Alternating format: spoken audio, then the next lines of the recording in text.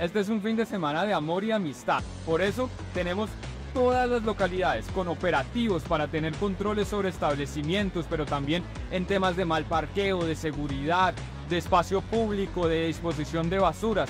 Estamos más de 400 funcionarios de la alcaldía, más de 3.000 policías garantizando la seguridad. Ah. Hacemos además todo un programa de concientización para el consumo responsable de alcohol en todas las zonas de rumba del Bogotá.